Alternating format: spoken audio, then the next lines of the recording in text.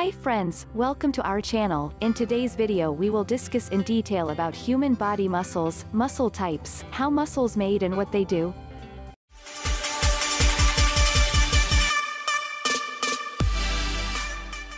What are muscles and what do they do?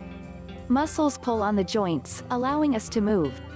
They also help the body do such things as chewing food and then moving it through the digestive system.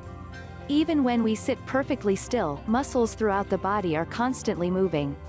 Muscles help the heart beat, the chest rise and fall during breathing, and blood vessels regulate the pressure and flow of blood.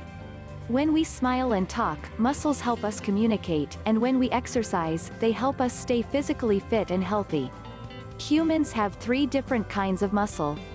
1. Skeletal muscle is attached by cord-like tendons to bone, such as in the legs, arms, and face. Skeletal muscles are called striated because they are made up of fibers that have horizontal stripes when viewed under a microscope. These muscles help hold the skeleton together, give the body shape, and help it with everyday movements, known as voluntary muscles because you can control them. They can contract, shorten or tighten, quickly and powerfully, but they tire easily. 2. Smooth, or involuntary, muscle is also made of fibers, but this type of muscle looks smooth, not striated. We can't consciously control our smooth muscles, rather, they're controlled by the nervous system automatically, which is why they're also called involuntary. Examples of smooth muscles are the walls of the stomach and intestines, which help break up food and move it through the digestive system.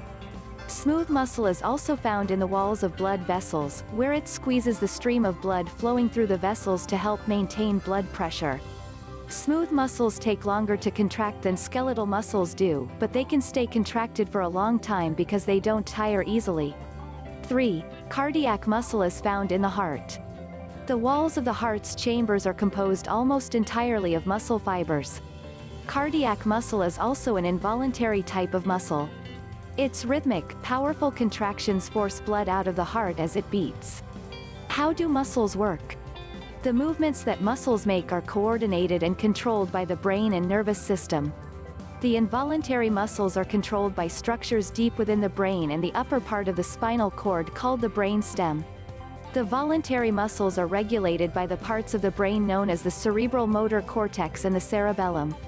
When you decide to move, the motor cortex sends an electrical signal through the spinal cord and peripheral nerves to the muscles, making them contract.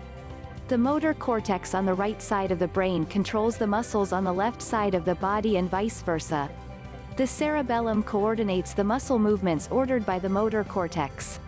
Sensors in the muscles and joints send messages back through peripheral nerves to tell the cerebellum and other parts of the brain where and how the arm or leg is moving and what position it's in. This feedback results in smooth, coordinated motion. If you want to lift your arm, your brain sends a message to the muscles in your arm and you move it. When you run, the messages to the brain are more involved, because many muscles have to work in rhythm. Muscles move body parts by contracting and then relaxing. Muscles can pull bones, but they can't push them back to the original position. So they work in pairs of flexors and extensors. The flexor contracts to bend a limb at a joint, then, when the movement is completed, the flexor relaxes and the extensor contracts to extend or straighten the limb at the same joint. For example, the biceps muscle, in the front of the upper arm, is a flexor, and the triceps, at the back of the upper arm, is an extensor.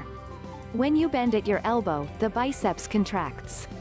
Then the biceps relaxes and the triceps contracts to straighten the elbow.